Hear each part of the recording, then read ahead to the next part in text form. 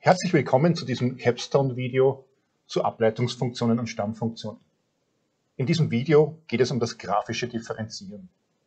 Überlege dir zuerst einmal selbst, wie die Ableitung der gegebenen Funktion aussehen kann. Gegeben ist also eine Polynomfunktion dritten Grades.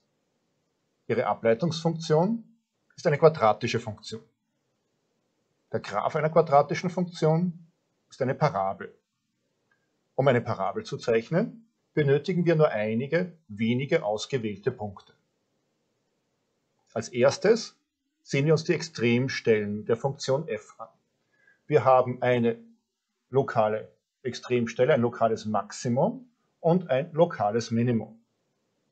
An diesen Stellen ist die Steigung der Tangente 0. Wir haben also Tangenten, die parallel zur x-Achse verlaufen. Unsere erste Ableitung muss an diesen Stellen also eine Nullstelle besitzen.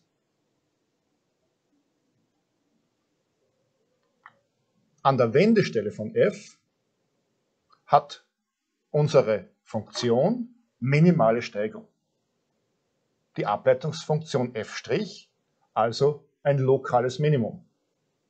Für eine Parabel bedeutet dies, dass es sich um den Scheitel handelt.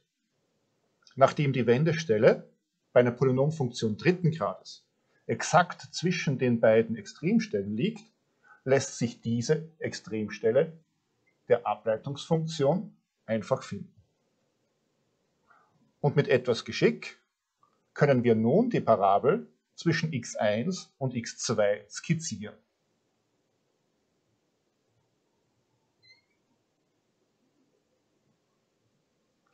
Vorsicht, laut Angabe muss sie zwischen x1 und x2 liegen, also bitte nicht darüber hinauszeichnen. Und damit ist das Beispiel gelöst.